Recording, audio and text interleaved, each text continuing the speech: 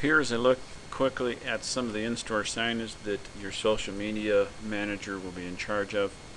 Again, these are called counter tents and uh, they fold into an A shape and you set them on your counters and your shelving and end caps and pretty much all over the store for maximum coverage.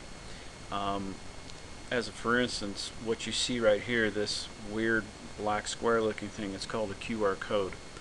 And what happens is customers who have a cell phone with a QR code reader can scan this and it automatically goes to Facebook and makes them like your Facebook page, which will increase um, your fans and your visibility all over the place.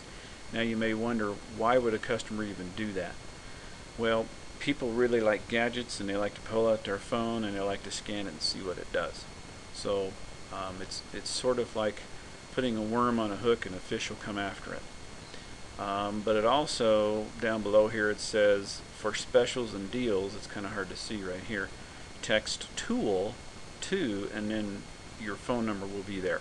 So we will have these uh, ready for you and we simply email you the signs. You take them to your printer and have them printed and then you just decide how many you want and you can put them all over your store. So rather than us shipping you a bunch you can't use you decide how many you need to put around and um, you can of course buy them accordingly.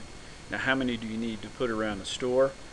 I would put them plenty so that wherever a customer is they can see them um, up and down on different piece parts of the shelving on the sides of end caps and that kind of thing. You want them all over the place because this is how your store is going to be seen more and more with social media. And plus getting text message marketing going.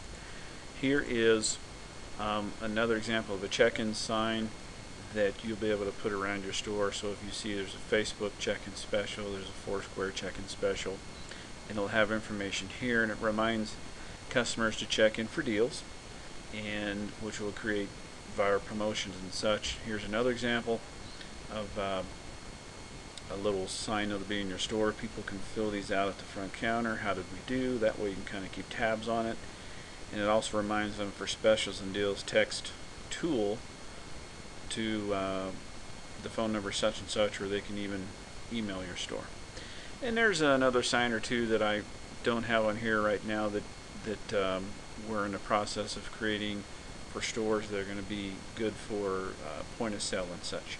But that gives you an idea of the signage that'll be in the store and, and again your social media manager will have more instructions on uh, how to distribute these and what to do with them.